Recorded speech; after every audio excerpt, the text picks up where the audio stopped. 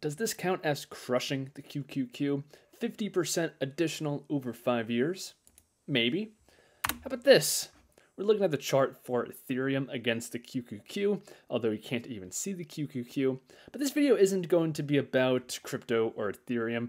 I do want to use it as a quick lesson, and then we're going to talk about the actual ETF.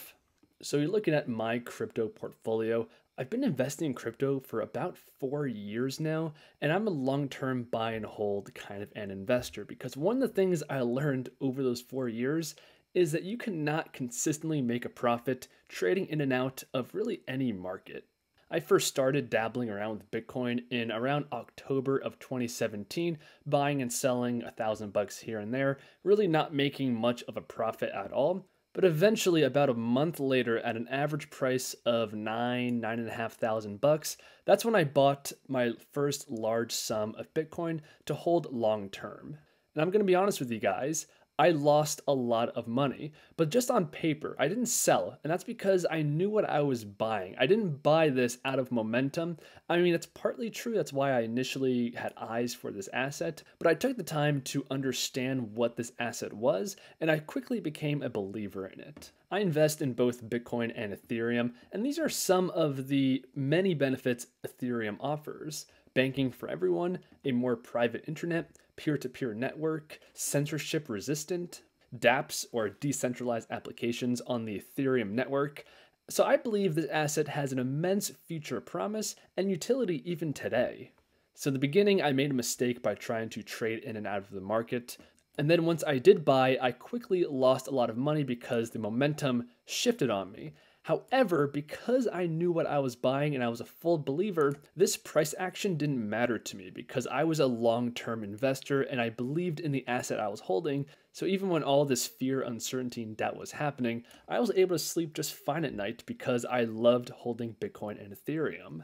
Now, I'm not trying to say you should never cut a losing position because you always have to factor in opportunity cost. All I'm trying to say is that what I've discovered over my investing career, especially in volatile markets like cryptocurrency, is one, you have to be a long term investor. Trying to trade these markets, it's just not going to be effective for most people. And because of that, I'm not going to advocate that on my channel because you're going to lose money. And Warren Buffett's number one rule is to never lose money. And number two is to always know what you're investing in and why. That's what allowed me to hold this long term because I knew that what I had was very valuable. And because of that, I was able to hold this asset during all the volatile up and down swings, and that's what ultimately positioned me to be able to fully profit from its more recent price actions.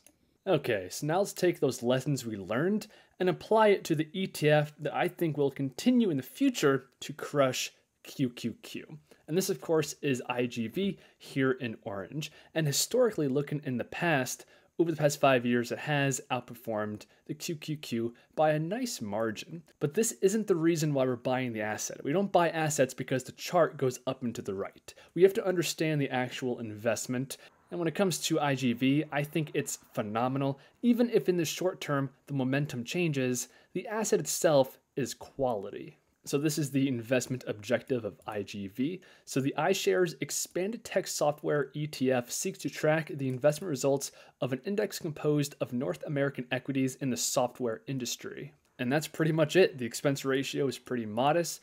Let's take a look at the holdings to get a better idea of what's happening. So we see companies like Adobe, Microsoft, Salesforce, Oracle, Intuit, and you're going to notice these are all companies that are, of course, software based.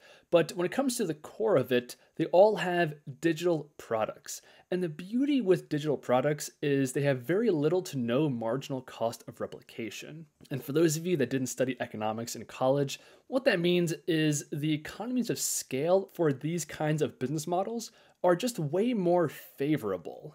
And that's ultimately why I think this ETF is going to outperform most others in the next five to 10 years.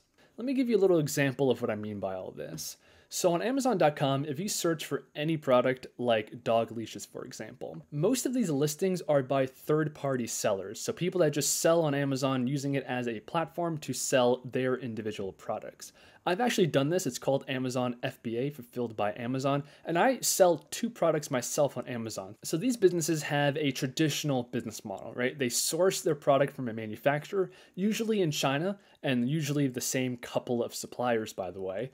And then they import them to the US, they send them to an Amazon fulfillment center, and then they make a listing on Amazon.com, and that's how they sell their product. There's two major issues with this. The first is there's very slim margins. You can see how competitive everything is. So, for example, these two listings are almost identical. It's the same product. The dog leash is exactly the same, maybe different colors, and that's why we see bundles. So, this one they have a collapsible dog bowl, something to hold bags. This one's similar, and they do this to try and differentiate themselves and not compete solely on price. Although, if you look at the price, they are definitely in fierce competition with one another.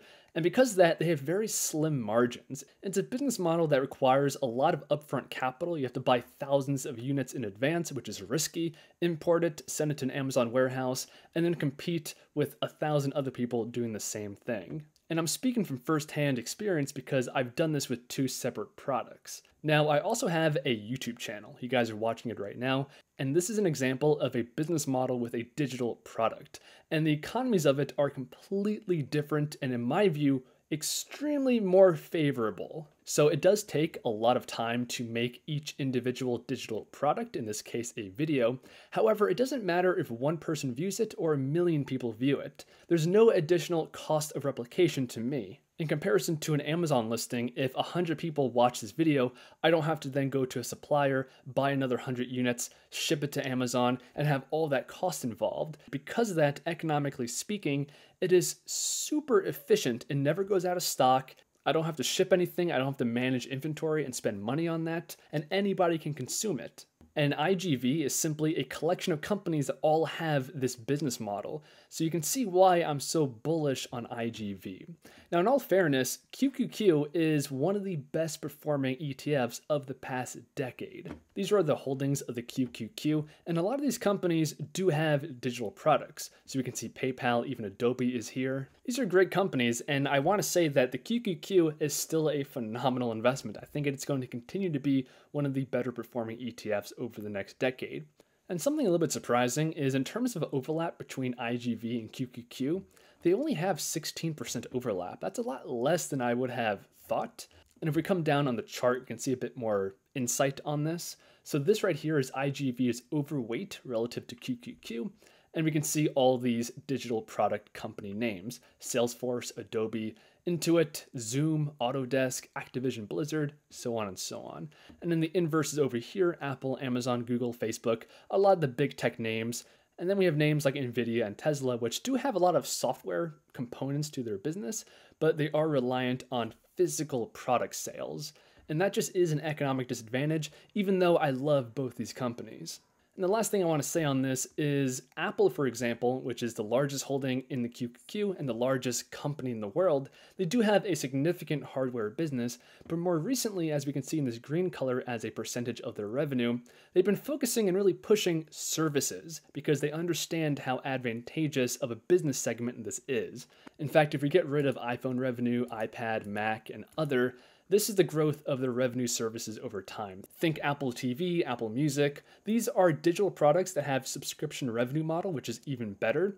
And they, being one of the largest and most successful companies in the world, is really focusing on and pushing their digital product sales. So that's my thesis on IGV. I think it's one of the better growth ETFs you can buy. It is going to be extremely volatile, and in the future, I wouldn't be surprised if it does come crashing down for whatever reason. But we're not buying it because there's momentum behind it and because the line happens to be going up and to the right right now. We're buying this ETF because the underlying companies that it holds all have superior business models focusing on digital products, which have great economics of scale to them. And because of that, they have the potential to have outsized returns over the market over the next five to 10 years. But let me know what you guys think in the comments down below. If you're still watching and enjoyed, give the video a like, subscribe, all that YouTube stuff, and I'll see you in the next one.